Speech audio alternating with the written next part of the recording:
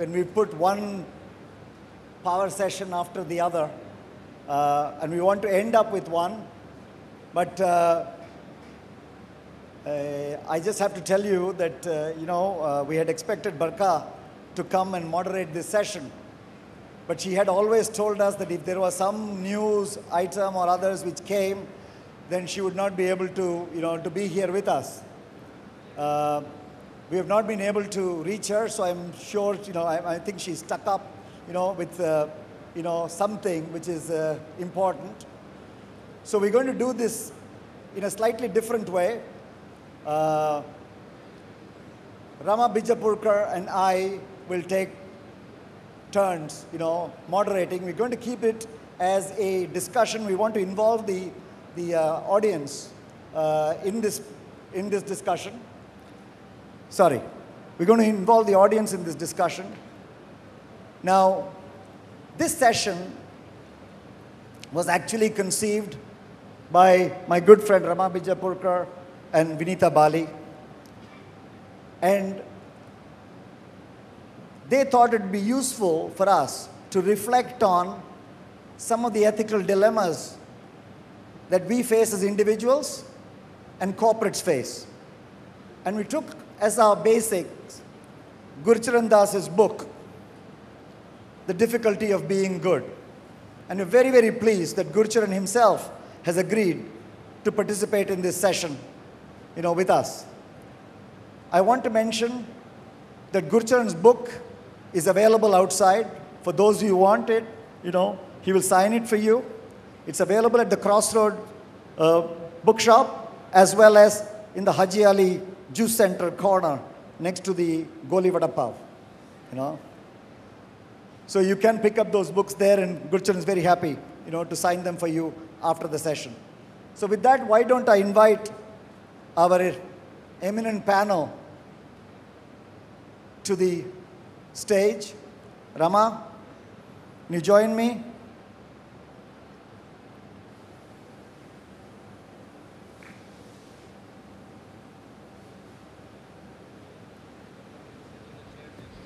Okay.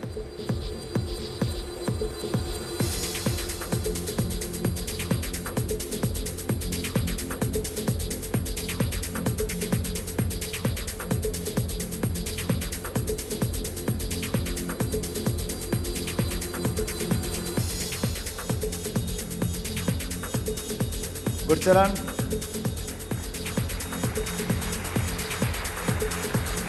Dr. Kiran Bedi.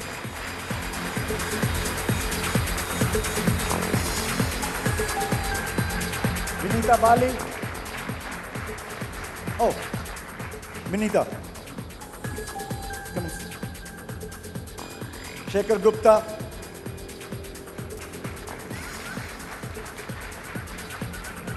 Captain Gopinath.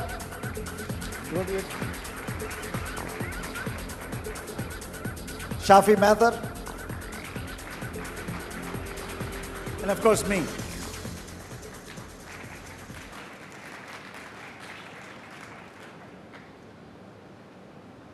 I think most of the people here, you know, uh, need very little introduction.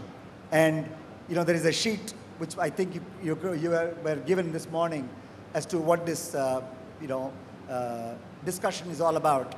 I'm going to ask my co-host, and we only decided that in the last 15 minutes, my co-host Rama Bijapurkar, uh, to say a few words because, as I said, she and Vinita had spent some time, you know, con conceiving this. Talked to Gurcharan, who very kindly agreed, you know, to do this. And then it was a question of me getting this group of people together to have this open discussion on what I think is a very, very important subject, you know, for a country like India. So since we're running way over time, I think we should, I should stick to a few words. And uh, the panel's introductions are in the sheet that is with you. And uh, we really wanted this to be a town hall kind of session, which is uh, thoughtful and has the maximum possible audience participation. And uh, so I think we'll kick off with uh, uh, who, um, uh, after who, in honor of whose book, or after who's inspired by whose book, we actually have the title of this session, The Difficulty of Being Good. Thank you. Thank you, uh, Rama. You have honored me. And uh, Sridar, you have organized. Um, you know, as we, this particular session, I'll speak for about 10 minutes to lay the context.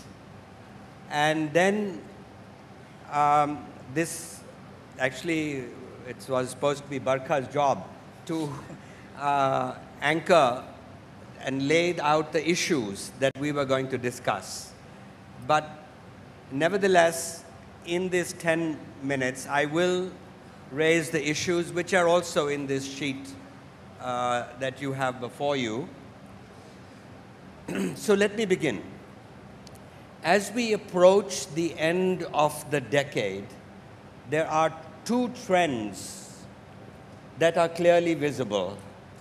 One is the economic rise of India.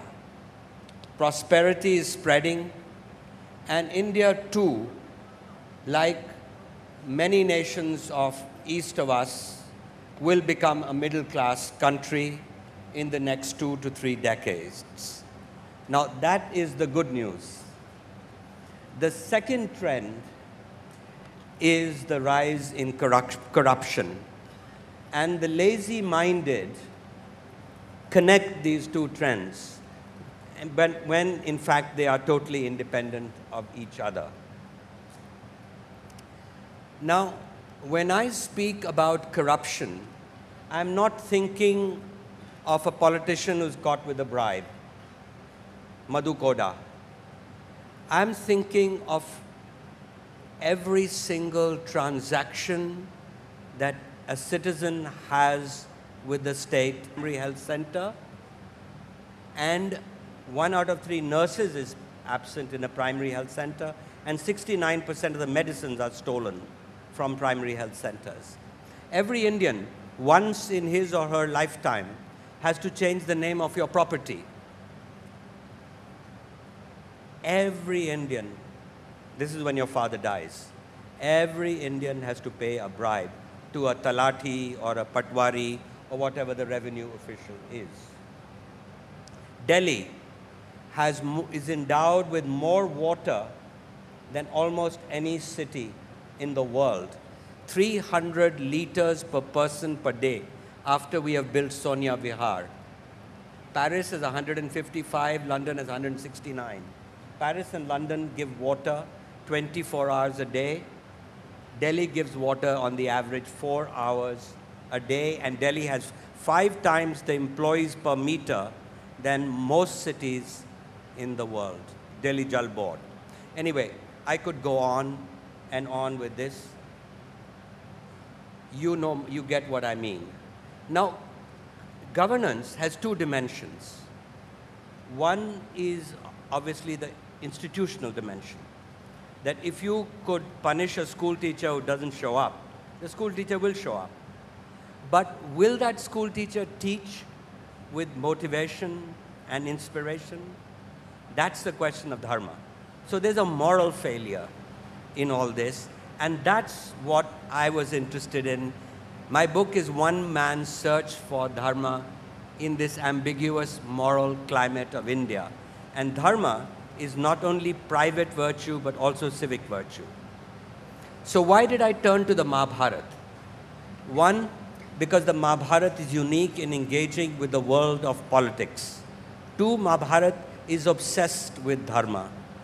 Three, nobody, no character when they gets into trouble in Mahabharata, do they say, let's ask God.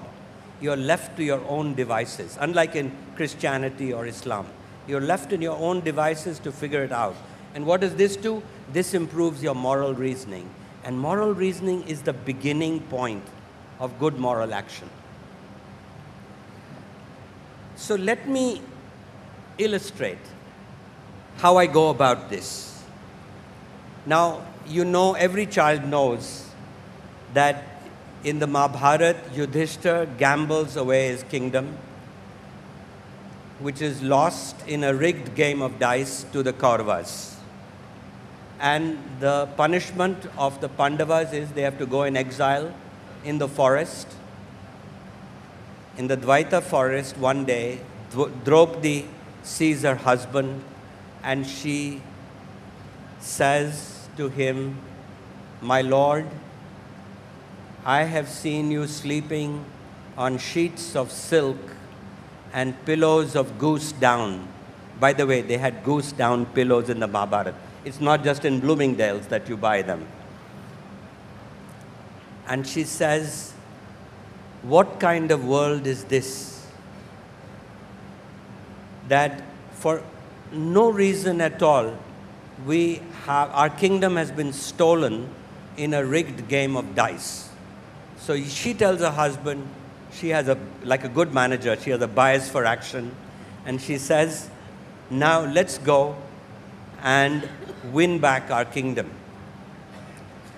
And that's your dharma. You're a kshatriya, you have to wage a just war. But he says, no, my dharma is that I have given my word to Dhritarashtra to go in exile. And so you see in the Mahabharata, there's a wonderful conflict between two meanings of dharma, which is driving the epic forward.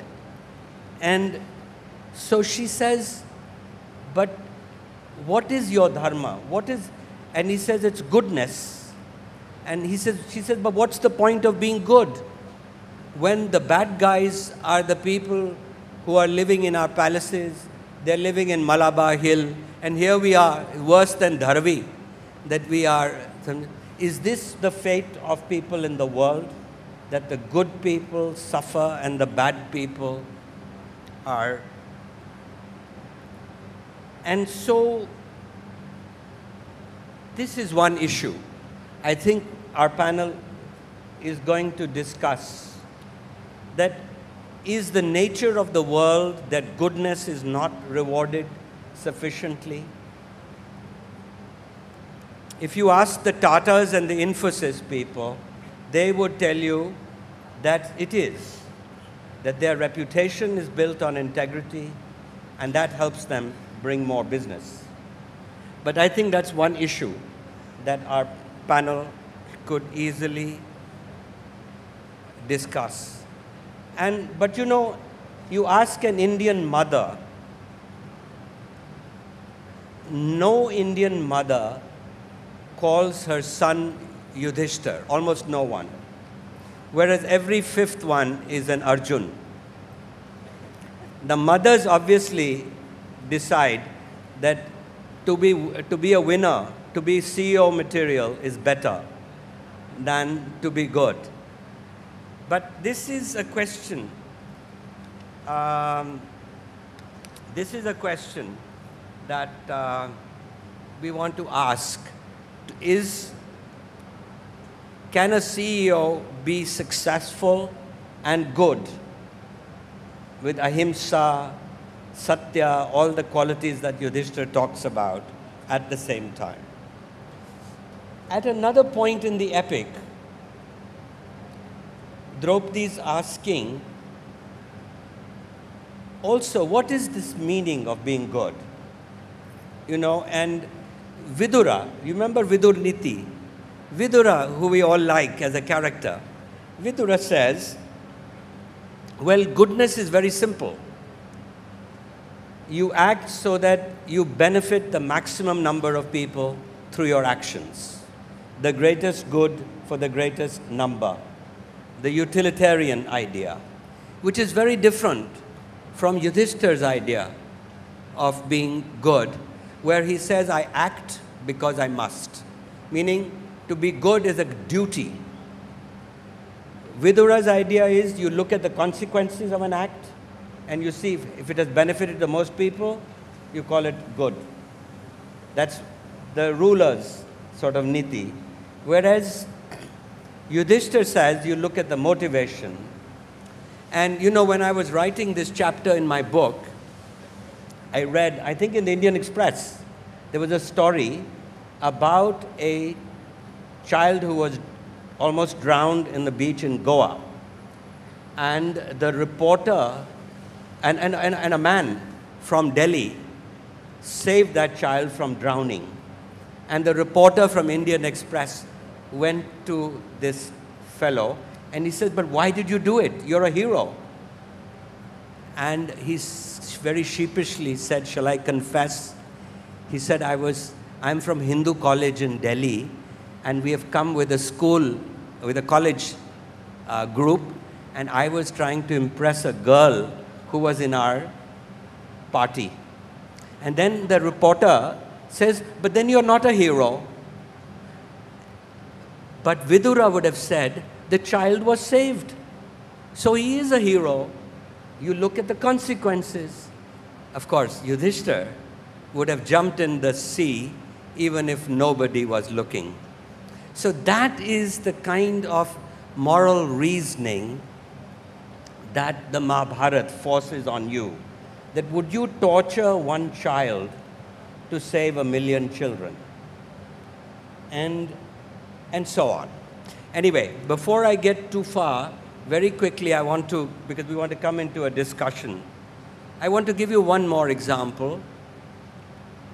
And this is a, the hero in the Mahabharata that we all love, and that is Karna. In fact, he's a, such a tragic hero that I wonder why Indian mothers call their children Karna or, or Karan. It's me about Karan. You remember the story Kunti has a child by accident, she's ashamed, she floats that child in a basket and it's picked up by a charioteer and is brought up as a charioteer's son. What interests me here really is the notion that Karna wants to be a Kshatriya. He wants to be treated like an Kshatriya, but he's treated like an OBC, a charioteer's son. And what it brought for me was the pain in our lives, pain of being an OBC. And particularly, you know, it also shows how we all human beings want to be somebody. We don't want to be a nobody. We come into this gathering and we want people to smile at us rather than look right through us. And snobs, in particular, have an enormous capacity for inflicting pain on others. And many of you will remember that in the Mahabharata, Karna goes to the Swayamvara of Draupadi and he picks up the bow hits the target, and he's the winner. And suddenly,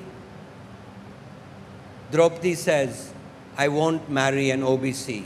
I won't marry a Sutaputra. And today, Sutaputra is a term of abuse in villages of India. And so, the, there's this undercurrent of sexual desire that drives Karna's story right through the Mahabharata. But, I mean, that's not what I want to focus on. What I want to focus here on is that the idea that our self esteem is held hostage to the opinion of others. That we, this is for the, this is the human condition. None of us can escape status anxiety. That is Karna's problem. Status anxiety. And my aunt used to say that you would not worry what others think of you if only you realize that they don't. That in fact, they're thinking of what others are thinking of them, and they're thinking what others are thinking of them. So that is the human condition that we all are so worried what our as, as babies this is not a problem we cry we burp we break our toys our mothers love us but when we grow up, the world judges us, and that's status anxiety. Anyway, the end, I mean, Karna's story is such a wonderful story because Krishna decides that the war is inevitable, the peace negotiations have broken, and the Pandavas are going to lose unless they can get Karna to switch sides. So he goes to Karan and he says, he tells him who he is, that you're not only a Kshatriya, but you're a royal prince. You come on our side, You'll be the eldest son of Kunti. Therefore, you'll be the king, not just a Kshatriya. And we are going to win this war. And then he says that one side Yudhishthira will stand on you, the other side Arjuna will stand, they will fan you, and the Chhatri will be on your head. And Draupadi will be yours, the ultimate prize. Of course, Karna does not switch sides. And you know what he says? He says that your real mother is not the one who gave birth to you. The real mother is the one who brings you up. And what a wonderful blow against the caste system that he delivers. Every day, I would repeat this in our country. The Mahabharata is a dark story. But in this, everybody dies, as you know. But in this darkness, the Mahabharata is able to snatch victory. Is able to snatch victory in stories like this, the ideals that people like Karna hold. And you remember at the end of the epic, and this is, I'm coming to the end. At the end of the epic, Yudhishthira is going to heaven, and a stray dog attaches itself to Yudhishthira. They arrive at, in the heaven, Indra comes out and he says, Welcome, great king. Indra is the heaven keeper. And, in, and Yudhishthira, instead of going into heaven, says, But what about this dog? And Indra says, This is heaven, no dogs allowed. And besides, he's not even your dog, he's just a street dog, dirty. And listen to what Yudhishthira says. He refuses to go in, and he says, that this is not the place for me because Dharma says that you, if somebody comes to you for refuge, you help them. So, this is how the Mahabharata, what it's saying is that maybe an act of goodness is one of the truly valuable things that we have on the earth. That we are all in the gutter but maybe some of us are looking at the stars. Thank you.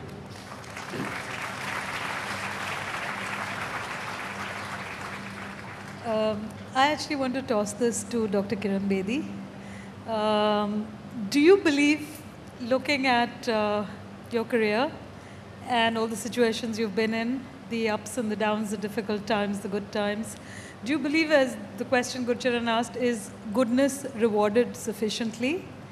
And I've often wanted to uh, ask you, do you have difficulty being good? Are there times when you really, I mean, what are the situations where you really feel that it is difficult to be good? And I think that uh, that, and, and do you also believe the other question that Gurcharan's been asking, the greater good theory, that some things are okay as long as they do result in the greater good? So that's interesting, breaking ice straight away. Um, thank you for making it easy if you're going to be asking from my personal experience. I think I'm a product of the challenge to good. I would not have been what I am if the goodness had not been challenged.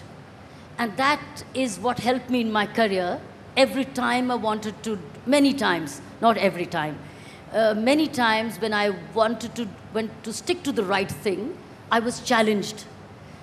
And the fact that I was challenged, uh, it enabled me to realize myself who I am, how much stamina I have, how much determination I have, and how far I can go, and whether I can survive. And the fact that when I walked to the stage, the, the, the ovation or the cheer we got is a reward, is a reward for me because otherwise it should have been booted out and should have been hooted out. to me, this is a recognition that even though I left the service two years earlier on principle, that it was the right decision. I'll narrate two, three incidents where I was challenged, and I think in the end I would look back as one of the finest decisions I took. Every time I think, uh, I believe I stood my ground was only when my staff was being wrongly suspended. If you look at my book called I Dare, there are two, three chapters which depict this analysis. How many minutes do I get? Three, two? How many minutes? Four? Okay. so, so let's me narrate this incident within these four minutes because we are quite an interesting panel and I would love to listen to everybody else. Uh, is that I remember when I was leaving police training and I was being posted as Inspector General Chandigarh, which is Shekhar city. Um, I said before going, it was became very ominous that I am, that's the first time I was going to get a city charge as Inspector General of Union Territory of Chandigarh. And it was a city of my student days. I loved that city and um, had walked and cycled every inch of it. So I was one day dreaming that I'll, I'll serve the city. And when I was getting a farewell from my parade, I said, I'm going to Chandigarh and I will now test myself whether I'm able to stand up to all that I'd been saying all this while. Because this is the first time I was going to head a police force as the Inspector General. It became very ominous. And I said this, that here I am, where I would probably test myself whether I can live up to all that I'd been saying all these years. And what had I been saying? I'd been saying whether uh, only that Inspector General of Police is capable of leading a force who stands up by the force when it is the most difficult situation, and which is particularly a question of ethics.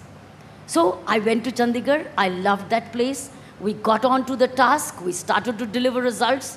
And within days, three, four of my very senior police officers were placed under suspension for acts done 15 years ago of which I was not aware, and a Home Secretary who happened to be a woman suspended, past the orders, and it never came to me as Inspector General. It came through me through a newspaper called the Tribune.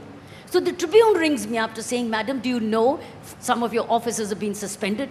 Senior, and Chandigarh being a small city did not have many officers. And I, it came as a shock to me that out of, let's say, eight key officers, I'm losing 50% for something which had happened during terror times 15 or 10 years ago. And coming through a newspaper, I thought that was absolutely discourteous that you don't take, the Home Secretary doesn't take the Inspector General into confidence and consults me to say, can I, sus I'm suspending your officers because I had to issue the orders of suspension. So the officers were not suspended. Officers were, through media reports, placed under suspension. Now these four officers came running to me saying, ma'am, are we suspended? I said, I don't know. But for what? They said, we don't know. But the orders have come. So you have to pass the orders. I said, I will not pass the orders. I shall not. And I'd been Inspector General just for about three, four weeks. And we had been started to turn the city around. We had won over the people and we'd put systems in place. I said, I will not pass these orders till I know the reason for which. And imagine, this was my first, first posting as Inspector General, something I was looking forward to, city which had warmed up to me, city which had been changed around. I said, I will um, meet the right people. I wasn't getting access to the Home Ministry at all because this is the issue of IAS and the IPS. The Home Ministry is all Indian Administrative Service. We, back in the police, is the Indian Police Service. Hardly have access as easily as anybody else. I could not access even the Joint Secretary to find out why are my people being suspended. Now, I went up to the uh, Commissioner. Commissioner wouldn't listen to me because it is the Home Secretary. They're part of the same clan. I asked to meet the Governor of Chandigarh, and I, that was General Chhibber. And I said, sir, I understand that you're placing these, these people as being suspended. Is this ethical? Isn't there something called Inspector General? Should I not know why they're being suspended? And now that I know what they're being suspended, I don't, I don't, I will not issue these orders, sir. I wish to let you know I am the captain of a ship. This ship is mine. I take responsibility for it. I want to know, I want to be convinced too whether this was really an error. Give me some time. I want to look at it. And if they were really malafide, I'll let them go. But till I'm really convinced morally, morally, I will not pass the order. He said, Do you know what it means? I said, That's exactly what I've come here for, to let you know what it means. It means my exit. It means my exit. Even though I was looking forward to the city, I am now living up to exactly what I'd been saying all these years. Friends, nobody heard me. Nobody heard me. I did not pass these orders. That was the last time the government of India and allowed me to head a police force because this was the rule. Rule is we do, we issue the orders, you obey. You are not, you are leader only in position. You are not leader in truly a moral authority. I let that job go. I rang up the home ministry. Mr. Advani was then the home minister. And I told Mr. Advani, I said, Mr. Advani, you are the one who sent me to Chandigarh. You suggested I come to Chandigarh. Now I want you to bring me back. I don't want to work in the system where I have to be, I am a leader in only position, but I'm not leader in moral authority. I'm sorry, I'll not suspend officers and lead this force because I'm actually, I'm not worth being a leader. I want to come back. I was brought back, went back to training. I'm only giving you one of the many instances. This has been the way I led the police force throughout. And that is why, even at the last stage, when I quit the service two years earlier, it was exactly on those grounds. So, my friends, I, my, coming to the next question, I personally believe we all live with ourselves. We decide what integrity means to us. And I believe integrity has three implications. One, we're integri- we have honesty or integrity of thought for our own selves. Two, we have integrity of thought for our immediate family, the reputation of the family. One, for our own selves, what our belief is. Secondly, when we have integrity, we have integrity for our own family. Family which is living, or family which has gone by. Like, for instance, my actions, I love them to be clean, even though my mom's gone. Even though my father's old, I want to stay with that belief or the right integrity for the love of my own family or the reputation of my own family. And the third reason for which we have we exercise integrity or we choose to have integrity at any cost, at any cost. But it's actually no cost. I'll in, the end say that. The third reason I think we exercise integrity is for larger good. The third aspect of that integrity, I did it for larger good. I did this action, I'm giving you only one example of Chandigarh, is first I did it for myself because that's the way I was, I felt I was a leader within myself. Second, I did it because my family would have looked, said, what a shame. You suspended police officers just because you wanted to stay in that position? What would my mother and father say? And the third reason was for larger good of my police force. What, what would man, what would the force do if I would do it? That's a wrong principle. That's not the way. And finally was, this is what I'd been saying. This is what I would have loved to see every police officer, if the cis junior is right, to stand up for that junior. Friends, if you ask me in the end, was I a loser for this or not? No way. Listen, Inspector General Chhibber would have gone for two years and done and forgotten. But the fact that every time I'm back in Chandigarh, I have to only step my foot at the railway station. And the, the way the cops come running to me, the way they love me, and the way they respect me, to my mind, this is living in their hearts forever. To my mind, therefore, I'm so happy that I was challenged all the time. I'm a product of the challenge. I'm so glad that I was challenged, that I could challenge myself and really judge whether I was worth my upbringing, whether I was worth my education and worth my education. So I think that's the key. It is, you don't live to please others. First of all, you are honest, you're, you are clean, you're fair for your own self, for your own family, and for your belief for your larger good. So, in the end, I think I'm a huge gainer for having been consistent in my, in my life, in, in my professional life in particular, and my personal life especially. Thank you very much, sir. Kiran would have given her son the name Yudhishthir. Yeah. You know, I think thanks for that very impassioned sort of, uh, you know, uh, statement about, you know, the, the nature of integrity, the personal accountability that you took upon yourself. I want to shift slightly, but stay on the same side of the panel. Gopi, I want to ask you, you know, in corporate life and in business life, you know, there are ethical dilemmas and challenges, you know, that people face. Can you sort of share the kind of dilemmas that you see where you would draw the line, you know, what's acceptable, not acceptable. So if you could share some of your thoughts on that with us.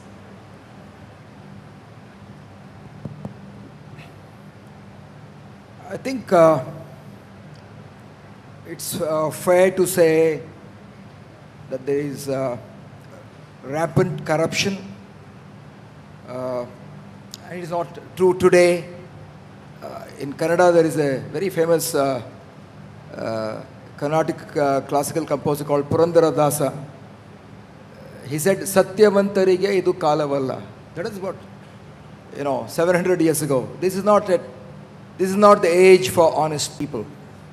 So I think dishonesty and corruption and these kind of issues has been there throughout history. And we, we are all, to a great extent, uh, we are the perpetrators or uh, beneficiaries or victims of the system. Uh, a large number sometimes are victims, and many of us are uh, perpetrators and, and beneficiaries. In you know, uh, you, I, know a lot of people who will who will bribe the corporation when they are registering the house. I think it's very few people you come across who will not bribe uh, a corporation uh, sub-registrar when you are registering your property, your own personal property. I have seen police officers, IAS officers, judges, uh, including myself. We say, okay, hell with it, you know. There's an euphemism. You get an incidental charge from the chartered accountant or the lawyer. He doesn't call it bribe. He says, these are the charges, sir. We take care of everything. So I think this is a real serious issue. But of course, like someone said, it's all the question of degrees. Uh, where you uh, are corrupt in a manner where you are ashamed of, uh, where you are corrupt in a manner where uh, you are perpetrating it uh, on others. Uh, but I just want to share one or two incidents because you know, I, when I left the army, I left with 6,000 rupees and I took to farming, as I said in the afternoon. Then I got into debt like all other farmers and got out of debt. And I remember even in those days when I went to the electricity board, I went to the sub-registrar's office, there was no way you could get anything done without bribing. And I would say I will never bribe under any circumstance. And because I was an officer, I had some access, I would go, walk into the DC's office, the police officer's office, I would get my job done. Uh, but at times, you know, you'd be frustrated and you'd say, hell with it.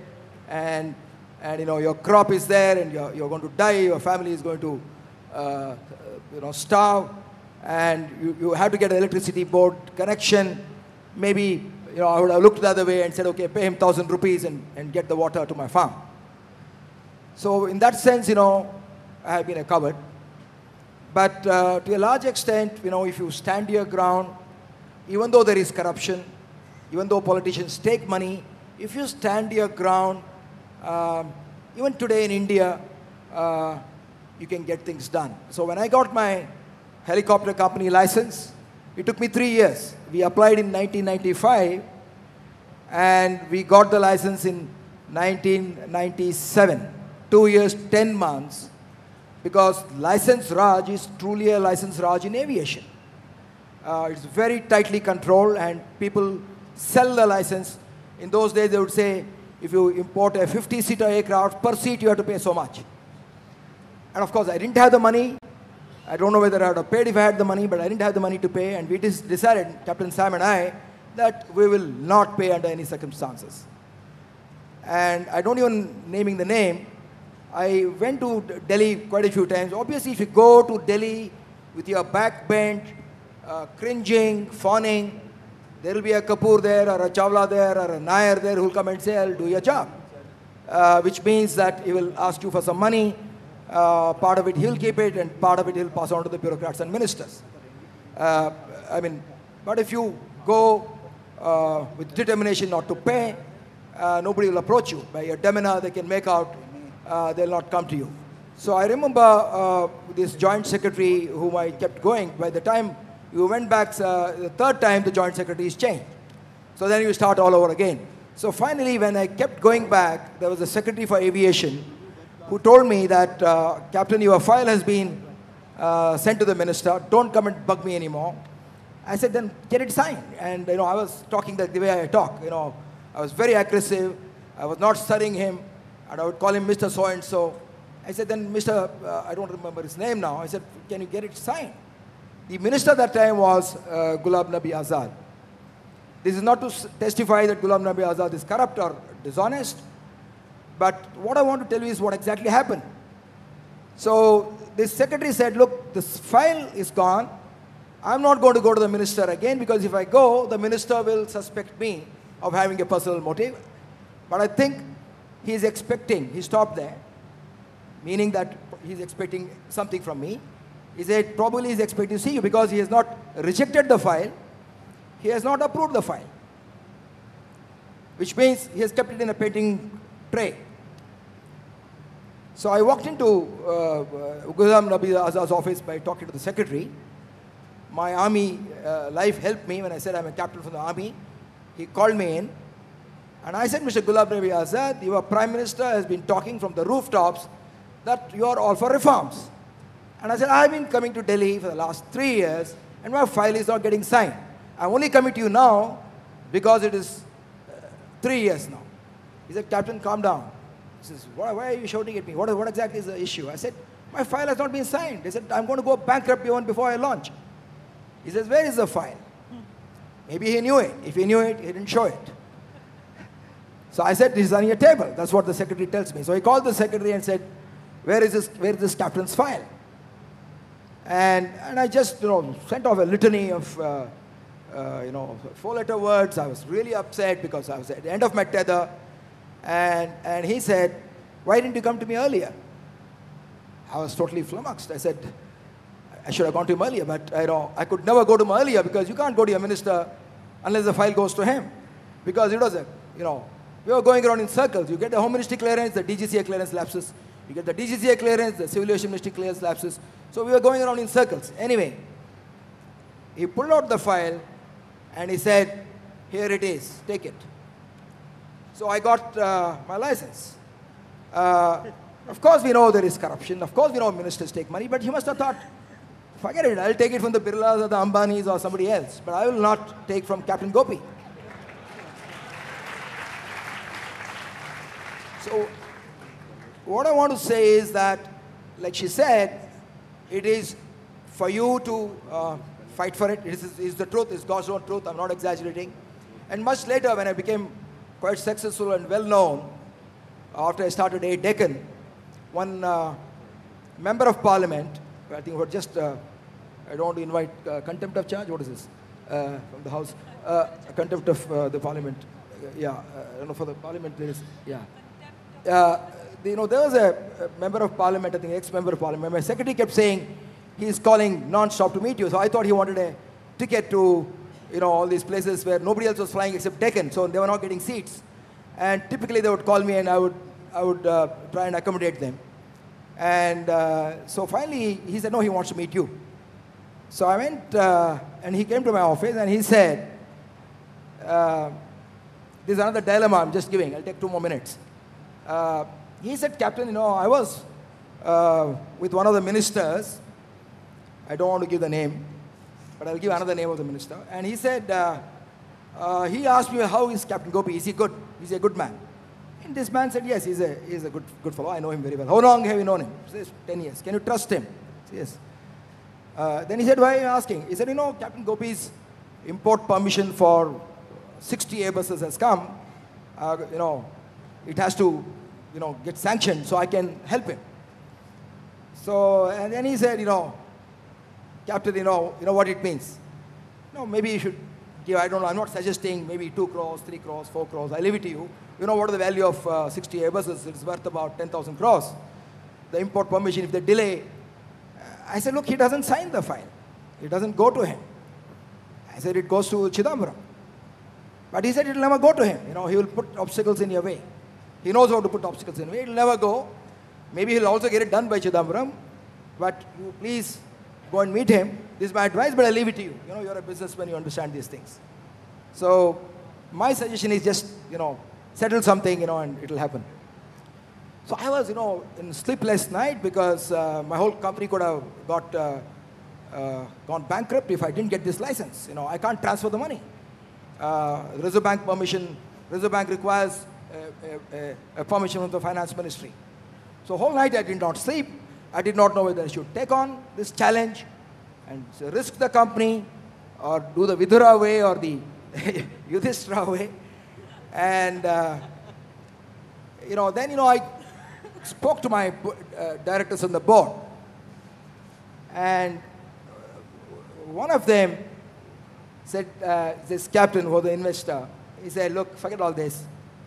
You know, this is given, uh, you just pay something and see how much, how, how less you can pay and sorry doctor. So I, uh, you know, did not like that suggestion. I thought they'll all tell me, forget it, let the company go bankrupt. You will not pay. Uh, of course, even my own, I would have also gone bankrupt. So then I, call, I went to Delhi and I knew Chidambaram and I sought a meeting with him. So I went to Chidambaram and as all, many of you know, Chidambaram is a very impatient man. He's very arrogant uh, and very stubborn sometimes and hence very knowledgeable. And so I said, Mr. Chidambaram, you know, these rules are so cumbersome. Why does these aircraft have to come to you every time? Why can't you change the rules? He said, don't teach me how to run my ministry, Captain. I'm not going to change the rules. When your files come, I always clear it. I cleared it last time. He said, no, the files will not come to you. Now it's almost three months. And you know, I have to pay a huge amount of deposit. I've already recruited pilots, I've recruited engineers. You know, it's a, it's a big risk for me. So I'm just requesting you to change the rules. I was not coming to the point. He says, come to the point, I'm not going to change the rules. He said, no, I was told that the files will never come to you. He said, why are you saying that? So I was told that if I don't pay the money, the files will not come to you. So he, so he said, who told you this? So I said, so and so. He said, give me the name. So I was hesitant uh, because I thought, you know, suppose if he doesn't do the job, I'll be in more trouble. You know, because if he doesn't follow through, the minister doesn't follow through, I'll be in more trouble than otherwise. So I gave him the name. And he said, if by chance I come to know you pay, uh, I'm, I'm, going to ensure that, that you're going to get blacklisted in the ministry. So I said, no, I said, but make sure you do my job, I said. so I left the uh, uh, uh, office, and as I was boarding my flight back to Bangalore, I got a call saying that your file has been cleared. Uh, please come collect the file. So what I want to say is that uh, I don't want to be a holier than thou. I mean, uh, all of us are, uh, we have to look at ourselves. Uh, like Goethe said that if all the thoughts that come go, go through our mind, uh, if it's recorded, I think most of us will be in jail. so, uh, but I think it is possible uh, in India with all the corruption. Uh, it, it is a social churning that is going on. Probably they feel justified in being corrupt. But I think it's possible for many of us. Uh, there are good examples here. Extraordinary example of Kiran Bedi. For us to do our bit and I'm sure we can build a better India. That's really awesome.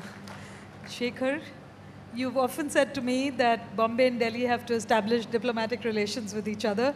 Shekhar is often of the view that we just don't get it this side of the world. Um, I also know that you're a hard-nosed journalist, but not a cynical one.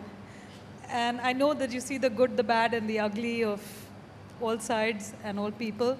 So how do you think about this and how do you cope and what's your difficulty in being good? I think, can you hear me? I hope acoustics are better now than in the morning. I think uh, it's very difficult to put straightforward dictionary definitions to the good, the bad, the ugly. Uh, what is good at any point of time depends on your situation then and conflicts of interest that you face. Uh, so you choose what is the best option. It may be the least worst option sometimes. And sometimes you make compromises because you look at the larger common good or you see uh, what is it that's going to, am I going to be, am I going to just look good doing something and thereby hurting other people? Uh, Gurcharan, if I may say so, that's the reason nobody remembers Yudhishthir, because he was a great hypocrite. Uh, he gave away his wife in gambling. It doesn't matter if it was, uh, he was gambling. Doesn't matter if it was fixed. Uh, he didn't fight the war. He got his younger brothers to fight the wars. He was a weak man. Uh, so just because you do something virtuous or you're seen to be doing something virtuous, you don't become acknowledged as someone who did something good. I mean, look at another great character from one of our other great epic, uh, Ramayana, uh, Vibhishan, uh, he did all the right things. If in fact, if you read Ramayana, if you see Ram Leela every year, as many of you may have done, Vibhishan is a nice guy who goes and recognizes Ram as the Lord says, I am doing all this at the feet of Lord Ram, etc., etc., etc. And yet, no mother in India has ever named his, her son Vibhishan because he was a traitor.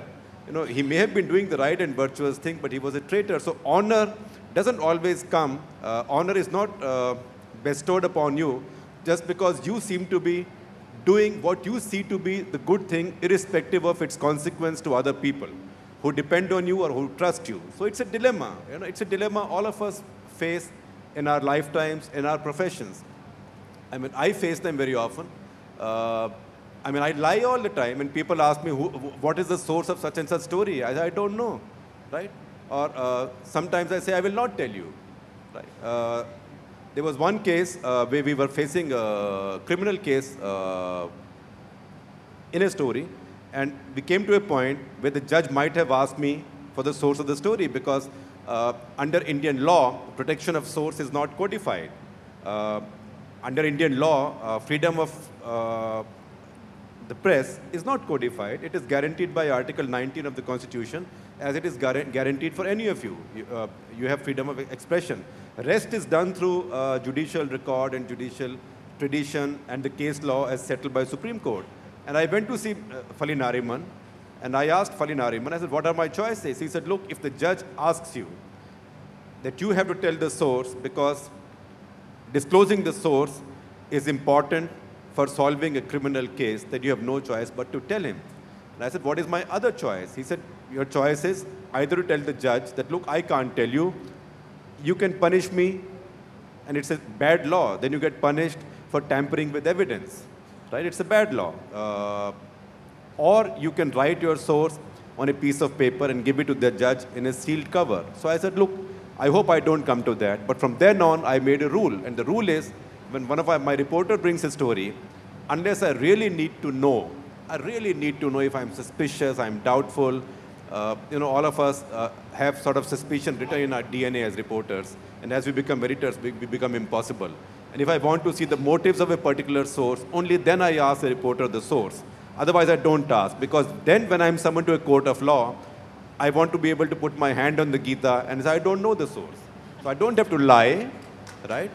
But I don't tell the truth because I don't know the truth. And I've taken care not to know the truth. The good thing would have been for me to know the truth. But I don't do the good thing. Uh, I do the correct thing. Now, you face these dilemmas all the time. And I'll tell you a couple. Uh, about in 1997, uh, 12 years back, 50th anniversary of our independence. Uh, Times of India and Hindustan Times were carrying out big, huge 100-page, 200-page supplements on the 50th anniversary of independence. If you see the Express, you know we don't get that many ads, and we don't do so many sponsored features. So uh, our marketing people said, you know, we look very bad. So we also thought that we should do something that only we can do on the 50th anniversary of independence. So we said, look, no national paper has an edition in Kashmir. So on the 50th anniversary of independence, Indian Express will launch an edition from Kashmir. So we launched an edition from Jammu. Now, there, was, there were no journalists there. So we were sending a lot of our young people from Delhi for two weeks at a time who will go and work and bring out the paper. Now, young people being young people, there was one car, one old Maruti van. So they started driving out at night, all, and they would do it almost every night, to a place called Patni Top, which is the highest point between Jammu and Srinagar, to watch the sunrise. So they'll finish their work at 1, 1.30, and then drive to this place to watch the sunrise and come back in time so that nobody would know they had taken the car. One day that car rolled down the cliff and landed at the bottom of the mountain. What did I have? I had one dead journalist, 23 years old. if you come to our newsroom, you will see her picture on the wall. And I had three others injured, one of them critically injured, another 23 year old girl, critically injured with a spinal fracture. But Indian Air Force doesn't fly after sunset from Udhampur. But if I got Indian Air Force to break the rules, I would also concede a big IOU, which I might have to repay someday in my life as an editor. So I had I made my choices. I had a young girl's life to save, and I had parents, and I thought I was responsible for them. So I called the air chief then, and I said, Air Chief Marshal, you have to do it for me. And if you don't do it for me, do it for a 23-year-old girl who will die if you don't do it. So he said, you know, Shekhar, how do I do it? Today is the 7th October. Tomorrow is the 8th October, which is the Air Force Day. So I'm having big parades and fly past all over. I have no assets. I said, I don't care. So he got back to me half an hour later because a smart chief, he also wanted the IOU. So he said, I can do it. I can get an AN-32, it's a big plane, to fly from, but it, it's also an air ambulance, to fly from Chandigarh to Udhampur on a training sortie. I'll call it a night training sortie. And they can bring these people to Delhi. And then they are yours. Uh, you pick up the body and you pick up uh, the injured ones. But I have a problem. And I said, Hey, Marshal, what is the problem? He said, My problem is that one of your girls is unconscious. Uh, the law doesn't allow me to transport a civilian I mean, anybody, but particularly a civilian in that state, without two paramedics. Only the army has paramedics in Udhampur. So what do I do? So what do I do? I call the army commander in Udhampur at night, General Padmanabhan, his name I can mention. And I said, sir, do you remember? Your daughter once worked for me for a couple of years. He said, yes. I said, you, and you called me and you said, now that I've got appointed Director General of Military Intelligence, I'm worried about my daughter going to work at night because you have night shifts. At the same time, I can't request you to change her shifts. So do you mind if she resigns? And I, I offered to accommodate, etc., etc., but you were very honorable. And he said, yes. So I said, just like that, I have another 23-year-old who's dying. Uh, I've got the Air Force to try and save her, but she needs two paramedics to travel with her. So he said, look, under my rules, I can't do it. But I will get two boys to get on that plane. When they come to Delhi, because they will not be on official duty, you make sure they get a couple of blankets and a place to stay. So I said, fine. So we got these people come in, and I must say, uh, the girl who had the spinal injury, she was taken straight to Apollo, and not only did she fully recover, but she was the best dancer at our office parties until she left us. Now, did I do something right? Did I do something wrong? Did I do something good? Did I not do something? I got people to break rules. I broke rules myself to ask for favors. I conceded many IOUs, one of which visited me back very soon. Because for the first time in its history, Air Force had some strikes because engineers were angry. I don't know if you remember. They made many allegations against the air chief. I think air chief had something to answer for, but every time the stories came, I got calls saying, you know, but we are such friends. And I knew what the subtext was. So so you pay a little price. Uh, you don't always do the perfect thing. It is not possible. You know, there can be many other examples, but I, I'll mention two more very briefly.